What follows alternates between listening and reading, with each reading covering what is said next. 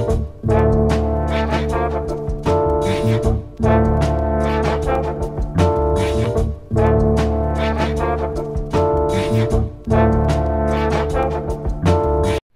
up, y'all? Trey Be Dippin in the building. You know what time it is.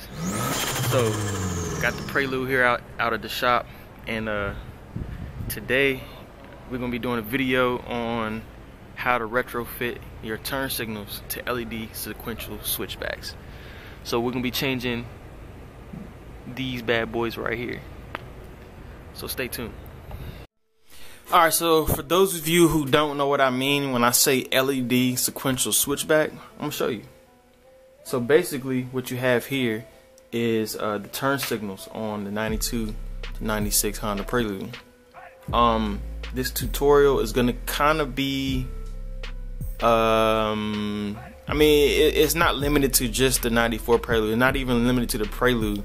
I think the whole entire video can be used uh, for different cars as well.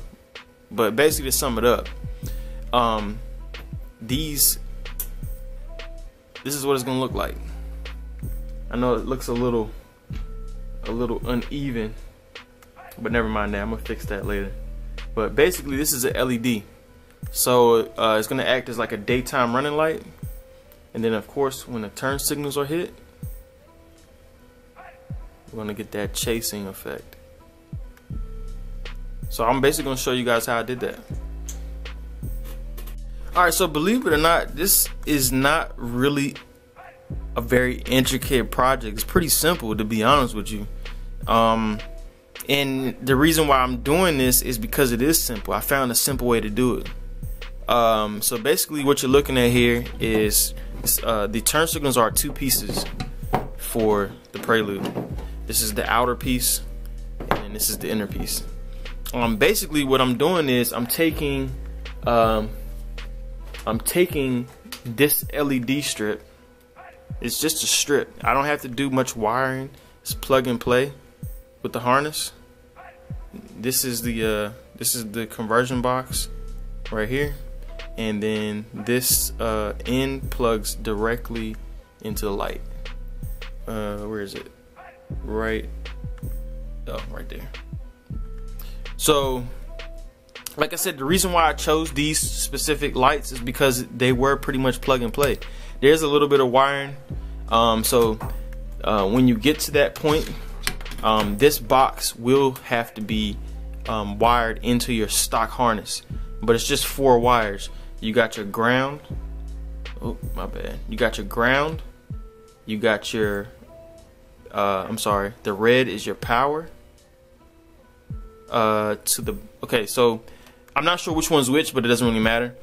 The white and the red are going to the same power source. One powers the box and one powers the running light, the white light. The yellow or the orange wire is the turn signal. Um, so it's pretty simple. It's just four wires you gotta wire up. Um, that would go to the stock harness.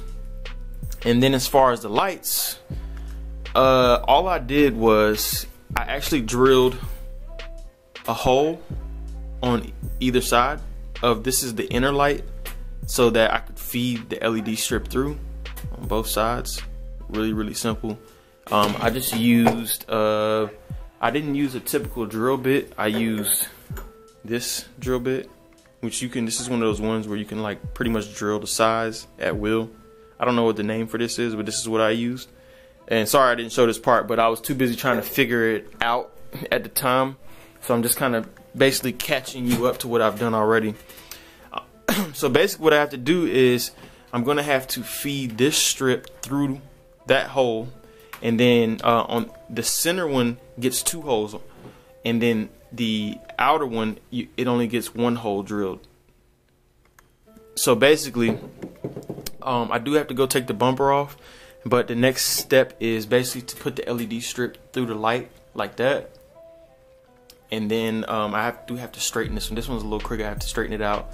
But um, it's not meant to be perfect. It's just meant to be like a quick mod um, that you can do. And it's easy for you guys to do. And this is why I'm doing it. So let's see, uh, see if we can get it done. All right, so I went ahead and took my bumper off. Um, the next thing I'm gonna do actually is get the old turn signals out. Um, if you've never taken the turn signals out before, it's not too hard. The only thing that makes it hard is if uh, these bolts or these screws kind of seized. But if you look carefully through here, you can actually stick a Phillips head through this hole and unloosen this. Once you unloosen that, you, you come on the side. This outer one also has a Phillips head. Take that out. And then basically, um, these are like slide in, slide out that lock in place. So I'm gonna get these screws out and uh, get these old ones out. And then we'll start fabbing up the new ones.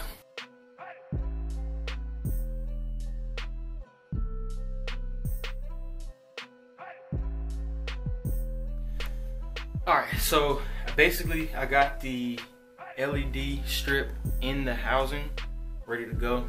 Um, now the way I ran it, uh, the LED sweeps from a specific direction. So um, you're gonna have to feed it in from the inside.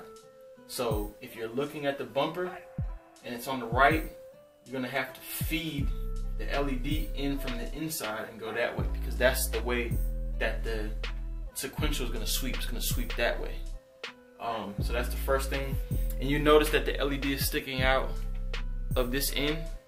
I'm gonna show you why. Once I get this first one in place, this other one actually fits right in there where that other hole where I drilled and it goes inside this housing.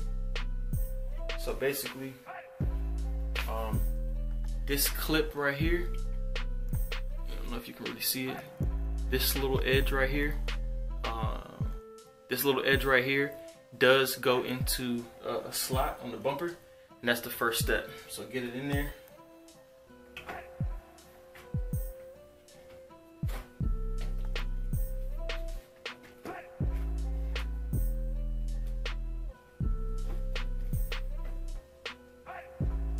All right, so once you fit that tab in place, you're pretty much just gonna push this in. Up into place just like that. Now, like I was saying before, this part of the LED strip is still sticking out, which is good. So basically, that hole that I drilled in this uh, outside piece, the LED is literally gonna go through there. So you're gonna slip that LED through that hole, and then this one also gets, uh, there's a little tab on it, and then just gets pushed into place. And that's pretty much it. So now you have those two screws, the one on the inside, and then the one on the outside here that I got to screw together.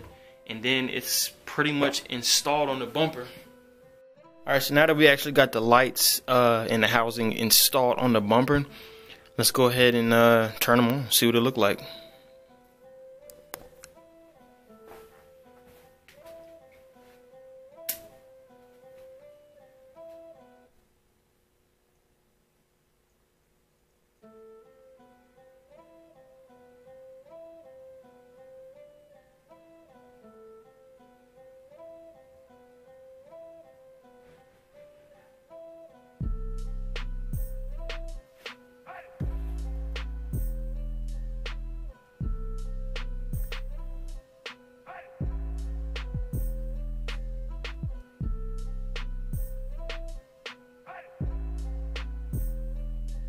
Dope.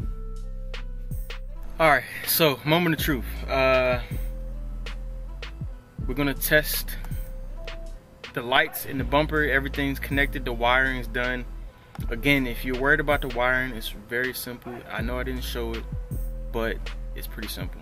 Um, like I said, if you follow what I said, the red and white wires go to power, and the yellow goes to the actual blinker. That's it. And then of course black goes to ground. It's really simple, man. I wouldn't worry too much about it. Um, if you've gotten this far, I'm sure you can figure it out. If not, just comment below and, and I'll help you out. Um, but yeah, so now what we're gonna do is turn on the hazard lights and see what it looks like.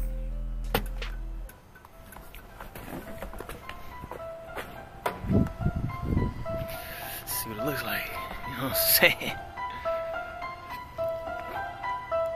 Oh shit. I like it.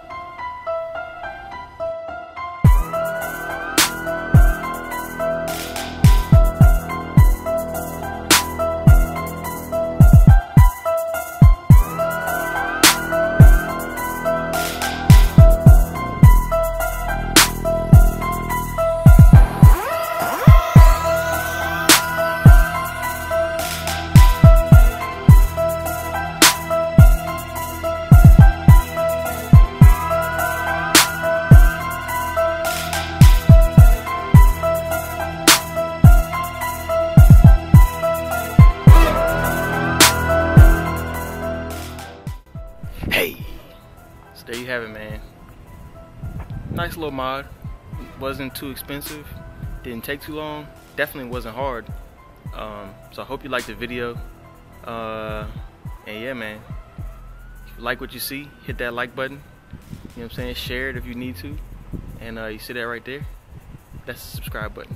Go ahead and hit that. I'll see you guys on the next one. Grand opening. I come through and start smoking shit. I'm creeping up while I'm approaching. you.